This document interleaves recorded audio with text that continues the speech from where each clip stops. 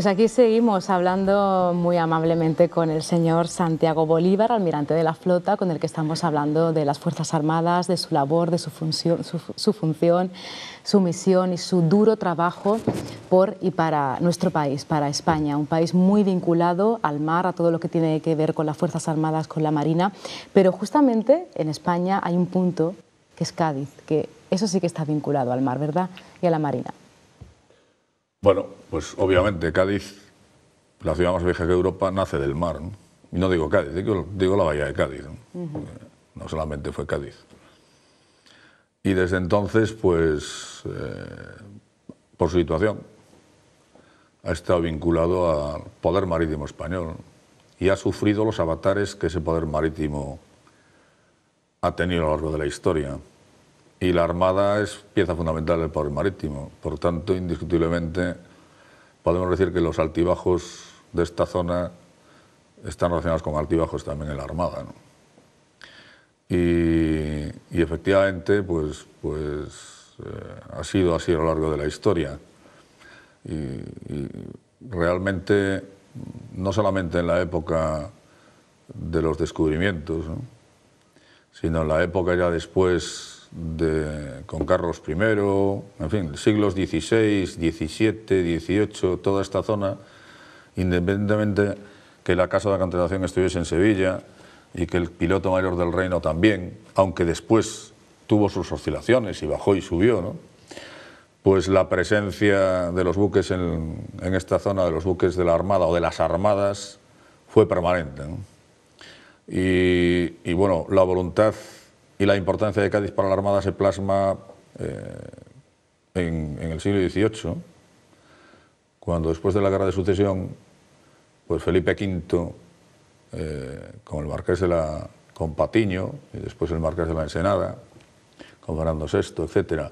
Bueno, Felipe V quiere reorganizar España en general, entre otras cosas por las Fuerzas Armadas, y, y decide colocar la Real Compañía de Guardiamarinas, constituyéndose en ese momento como un colegio para formar oficiales, porque antes no se formaban así, en una Real Compañía, decide que se ubiquen en Cádiz. ¿eh? Y entonces en Cádiz se ubica la Real Compañía de Guardiamarinas, ni más ni menos, nuestra escuela naval de entonces, el Harvard del siglo XVIII, puesto que era el mejor centro científico del mundo, eh, se coloca en Cádiz. Y ahí estuvo hasta que eh, don Antonio Valdés, a finales de ese mismo siglo, decide llevarla a San Fernando, que tampoco quedaba muy lejos. O sea que realmente. Y eso pasa con el Observatorio de la Armada también. O sea, el Real Observatorio de Marina se coloca primero en Cádiz y ahora está en San Fernando. Y con el, Real Instituto Hidrográfico de la Armada, en fin. La presencia de Cádiz en el siglo XVIII fue enormemente importante, de la Armada en Cádiz fue enormemente importante. Y la presencia desde entonces eh, el arsenal de la Carraca se hace también en aquella época, aunque había un pequeño arsenal, el primero que había en España. Eh, la presencia de la Armada a lo largo de los siglos, desde entonces, ya plasmado en una reorganización, donde la importancia de la tierra con relación a la Armada era, más importante que antes, no había arsenales, los barcos se hacían en las playas, en carpinterías de ribera, en fin. En el 18 se cambia esa orgánica y la Armada ha estado presente siempre en esta bahía de una forma muy importante. Y hoy se plasma en que aquí casi hay 10.000, prácticamente alrededor de 10.000, entre 10.000, 10.200, dependiendo de cada momento, pues hombres y mujeres de la Armada, eh, teniendo en cuenta que nosotros somos sobre 22.000, 23.000, pues es un tanto por ciento elevadísimo. es la ciudad, el entorno más importante que tiene la Armada en, presencia de dotaciones es la Bahía Cádiz. ¿eh? Ahora justamente San Fernando es protagonista también por esos actos de los que hablaba anteriormente em, que conmemoran el Día de las Fuerzas Armadas. Mucho trabajo, ¿verdad?, para hacer llegar a la ciudadanía todo esto. Bueno, como en, el, espíritu del, Día de las Fuerzas Armadas es eh, unir, darse a conocer la sociedad civil y los militares, ¿no? en el caso concreto de la Armada, pues la sociedad civil y la Armada. Yo creo que en, toda la Bahía de Cádiz, eh, más, más que darnos a conocer lo que podemos pretender, puesto que ya somos conocidos, Celebrarlo. lo que queremos es primero que haya una celebración conjunta y participada y segundo, pues reforzar, reforzar ese conocimiento, no hay duda alguna, que aquí estamos en una sección privilegiada por nuestros antecedentes a lo largo de los siglos, no de ahora, a lo largo de los siglos, y por nuestra presencia actual aquí. ¿no? O sea, 10.000, casi 10.500 hombres en la Bahía de Cádiz es mucha gente de la Armada en un entorno como esto. ¿no? O sea que nuestra voluntad es reforzar ese conocimiento mutuo y, y- y con la clara voluntad de permanencia. ¿no? Ya que es fin de semana, eh, adelántenos un poquito de qué podemos disfrutar estos días eh, en el entorno de la Bahía de Cádiz. Bueno, eh, como sabemos, la situación de crisis eh, obliga a no gastar. Entonces, de lo que se disfruta es de cosas que prácticamente no cuestan. Pero con la presencia de esa, la, la presencia, esa presencia enorme de la Armada en cuanto a gente y medios, pues yo creo que hay muchas oportunidades para reforzar ese conocimiento. ¿no? O sea, pues hay jornadas de puertas abiertas en todas las, prácticamente en todas las dependencias que hay en Cádiz, en San Fernando y en Rota, en la base naval. Y en las jornadas de puertas abiertas, pues, pues hay visitas guiadas, por ejemplo, el Observatorio de Marina, centro interesantísimo desde el punto de vista científico, una biblioteca científica de las mejores de España, eh, que quien no lo conozca debe ir a conocerlo. O el Instituto Geográfico, eh, que es una base importantísima de técnica eh, de levantamiento de cartas eh, y con una enorme y larga historia. O las unidades militares, el Tercio de Armada eh, y los buques que están atracados en Rota. Entre ellos el Juan Carlos I, que es visitable estos días. Claro. ¿no? Y bueno, aparte de eso, celebraciones, eso son visitas, también hay- bautismos de mar en alguna comancia marina, con algún barco que prácticamente consume muy poquito, Ceuta, en fin, en otros sitios, ¿no? en toda Andalucía. Porque yo soy el representante de, la- de las Fuerzas Armadas en las provincias marítimas de, de Andalucía, o sea, en Granada, Almería, Málaga, Cádiz y Huelva. ¿no? Por eso estoy hablando de las comancias navales, Claro. etcétera. ¿no? Y también en San Fernando tenemos dos actos que son importantes. Uno es un arriado solemne en el Tercio de Armada, que es un acto. El arriado de bandera es, es emotivo, pero en el patio principal del Tercio de Armada y con una demostración militar que está relacionada con el arriado, pues realmente mm, pone la carne de gallina. O sea, que al que no haya ido a verlo, yo le recomiendo que, que vaya a verlo. Y es, es un acto en jornadas de puertas abiertas, o sea, que es de libre acceso, hasta que no quepa más la gente. Claro. Y después hay una jurada de bandera de civiles en San Fernando, el día 1 por la mañana. ¿eh? Esos son los dos actos principales. Y también hay un arriado eh, el día 1 por la tarde en San Fernando, pero bueno, no es el arriado solemne, es un arriado, un arriado, un arriado especial, pero vamos, no es, no es el arriado solemne que tenemos en el Tercio de Armada. ¿no? Entonces, esos totalmente están abiertos a- al público, puesto que son en, en la ciudad de San Fernando, Una son fuera de los cuarteles. una ¿eh? oportunidad muy bonita para donde poder... juran 325, 340 civiles que quieren demostrar públicamente su, su amor a España. ¿eh? En este caso, de las manos de la Armada. O sea que muchas gracias a todos los futuros ju- jurandos del día 1. ¿Se siente en ese tipo de actos que hay un espíritu realmente de querer a España a través de, de simbolismos como estos, a través de las Fuerzas Armadas? ¿Son en actos como estos cuando se ve realmente la población lo que siente? Bueno, los actos militares, a los militares siempre nos emocionan. Yo creo que al- a, a la sociedad civil le gustan. ¿no? Y dada la, la opinión que tiene, que interpretamos en, las, en los sondeos de opinión que se publican, que tiene la sociedad civil en general del mundo militar, pues interpretamos que ellos que a ellos también les gusta. ¿no? En el caso concreto de San Fernando de Cádiz, pues eh, comprobamos cada vez que hay un acto militar la asistencia masiva de personas y las expresiones que utilizan pues, eh, para darnos la enhorabuena o agradecernos el acto, pues que realmente están encantados de, de vivir momentos mm, de música militar, de convivencia, de formaciones, etcétera, que no son muy numerosos, pero que cuando son se disfrutan y se agradecen. En el acto, en un, acto como la jura de bandera, donde eh, civiles, hombres y mujeres de España que no han jurado bandera o que habiéndolo hecho quieren renovarlo, que lo hacen, pues indiscutiblemente lo que están demostrando es primero cariño y amor a España, ¿eh? jurando defenderla dentro de su entorno civil como hacemos los militares, ¿eh? o sea, una clara afirmación de, amor a España y, de estar dispuesto a defenderla, en primer lugar, y en, segundo lugar, pues una, indiscutiblemente, un reconocimiento con ese juramento a la función de las Fuerzas Armadas que la juran por obligación y ejercen esa, esa función día a día. Aunque yo también digo que eh, no solamente defiende a España eh, y no es más importante el que lo hace con las armas, caso necesario, o las misiones operativas que hay por ahí que lo hacen todos los días, que es una cosa enormemente meritoria, eh, sino que defender a España también es trabajar día a día como Dios manda, ¿eh? pensando en España y en los españoles. Eso sí que es defender a España día a día.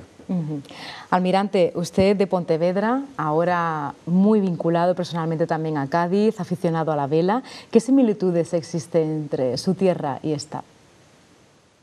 Bueno, yo, yo creo que España eh, para mí es muy parecida eh, en, la forma de vivir y en, la forma de sentir. ¿no?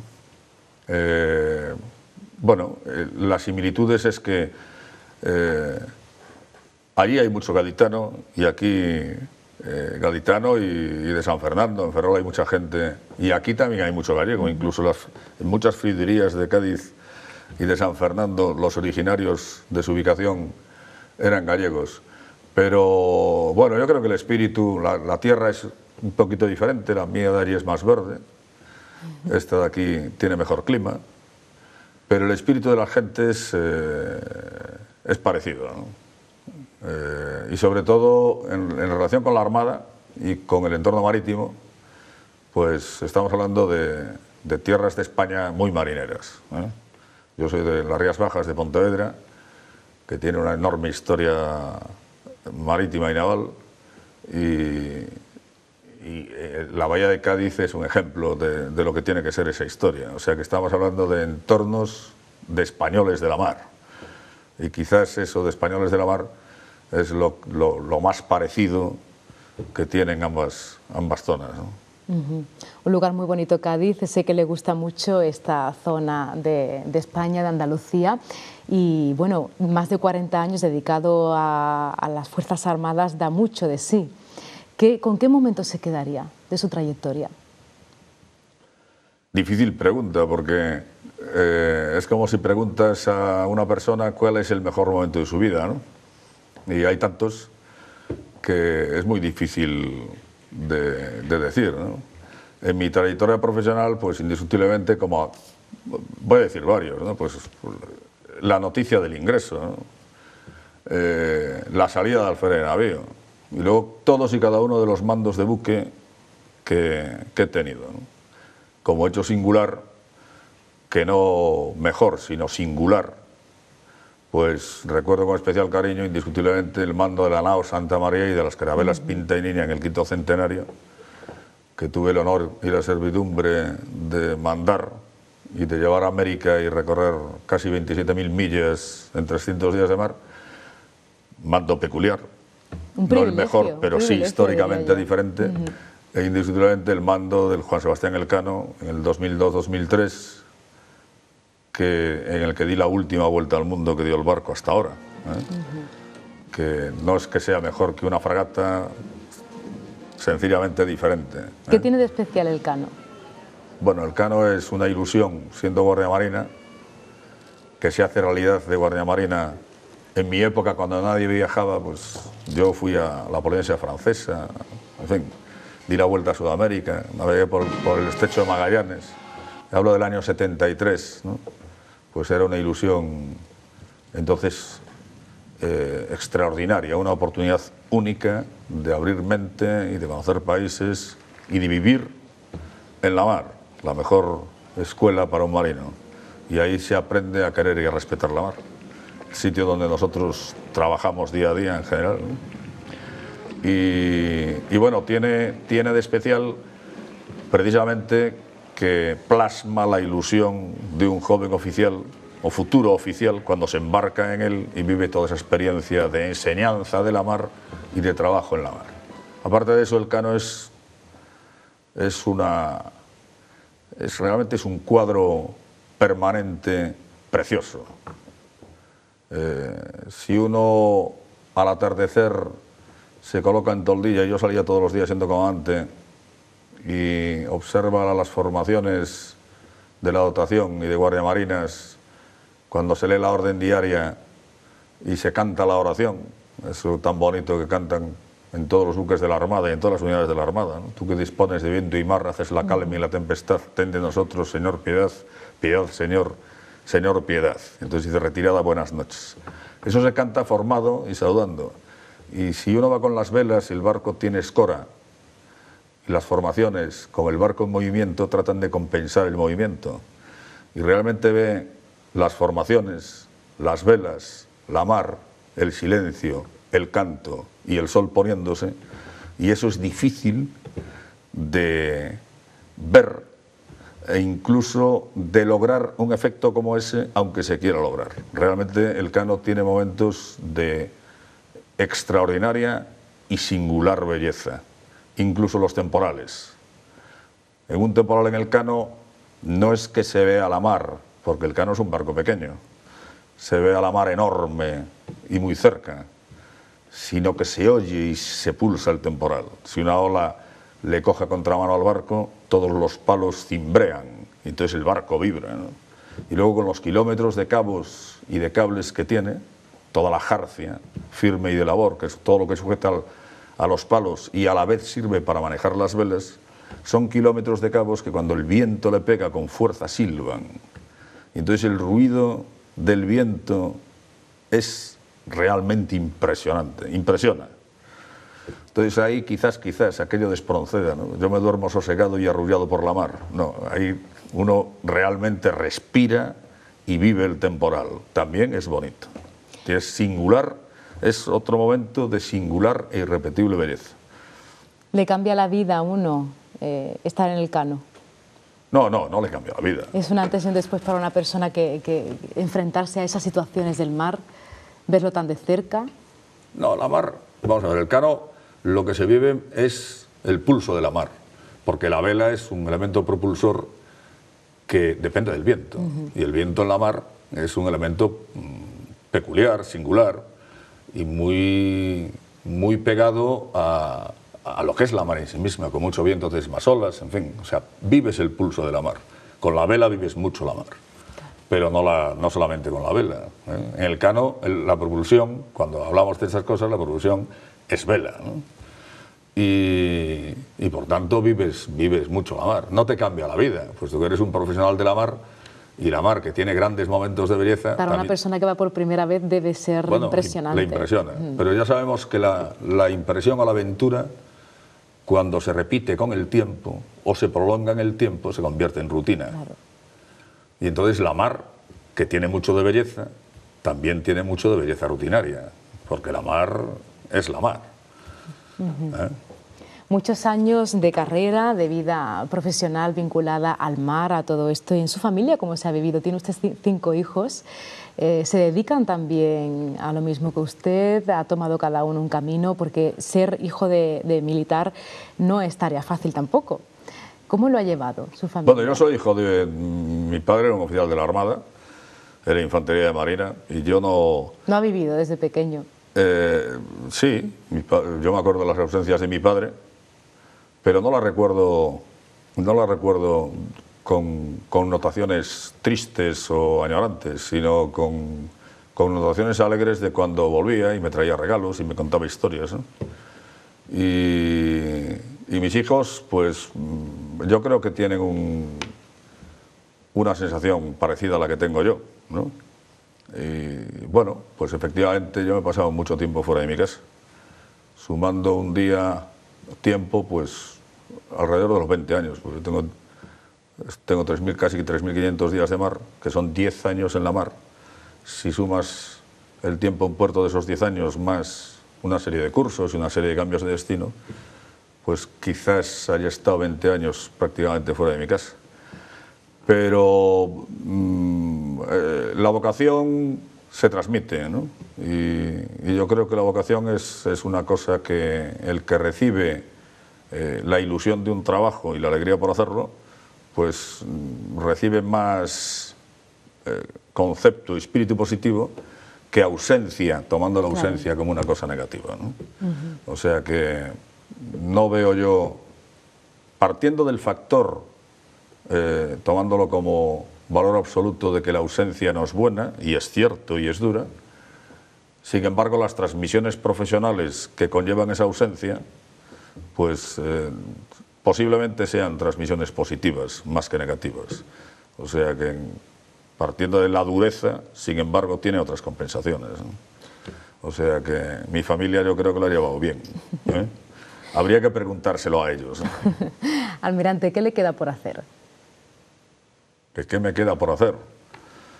Pues indiscutiblemente espero que poder cumplir con mi deber como almirante de la flota y, disfrutar cada segundo, de cada momento, de cada día de lo que me resta de vida. En la mar uno aprende a disfrutar de lo que tienes en ese momento y no añorar, pero no añorar de forma imprescindible que te impida vivir el momento. Es decir, que estás en un barco en la mar, tienes que vivir el momento en ese barco en la mar y disfrutar de la charla del que tienes al lado, tu subordinado, tu compañero o tu jefe. Disfrutar de la charla, disfrutar del trabajo, disfrutar del ambiente del barco. Y eso es una cosa que se aprende en la mar y que es una cosa que para mí muy importante. O sea, que lo que me queda por hacer aparte de cumplir con mi deber, es disfrutar cada segundo de cada minuto de mi vida. Sobra de preguntarle qué significa para usted ser el almirante de la flota. Antes hablábamos que a los oficiales de la Armada, a los oficiales, a los cabos y a los marineros, a los soldados de infantería de marina, a todo el personal de la Armada, se le forma en una cosa fundamental, basándose en esa en ese recuerdo de la historia, del que estamos muy orgullosos, de la historia de España, de la historia marítima de España, de la Armada, pues se le forma una cosa que se llama la vocación. La vocación del servicio a España por los caminos del mar. La vocación, en el caso mío, de oficial de la Armada del Cuerpo General, pues es una demanda profesional orientada precisamente a esa vocación a la que me han, en la que me, que me imbuyeron en la escuela militar y un poco mi familia, pero, pero si no eso es cuestión de la escuela al militar, de la formación que nos dan allí. Esa vocación se, se, plasma en el deseo de lo que quiere el oficial de Marina en general, en general, de Infantería de Marina o del Cuerpo General o de lo que sea. En el caso del Cuerpo General, demandar, de embarcar y demandar. Que es duro desde el punto de vista personal, pero es nuestra vocación. Es decir, que nosotros a lo largo de nuestra profesión si a un oficial de Marina se le pregunta realmente qué quiere, quiere ser un buen oficial de la Armada.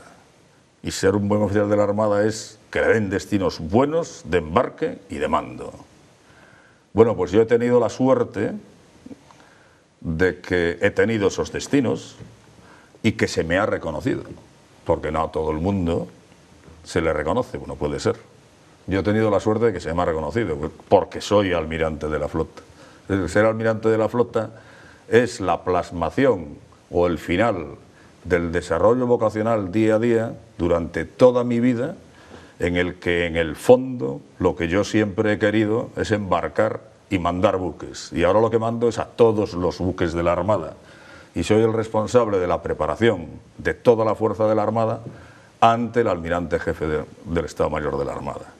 O sea que en primer lugar, ser almirante de la flota es la plasmación de la vocación después de toda una vida dedicada a desear esa vocación de mando. Y luego, pues indiscutiblemente, la responsabilidad o servidumbre de esa preparación de la fuerza, ¿eh? que es una alta responsabilidad a la que tengo que añadir la satisfacción en este caso que produce mandar barcos tan buenos como los que tenemos ahora y gente tan motivada y preparada como la que tiene la Armada en estos momentos. Y eso es lo que es para mí ser almirante de la flota.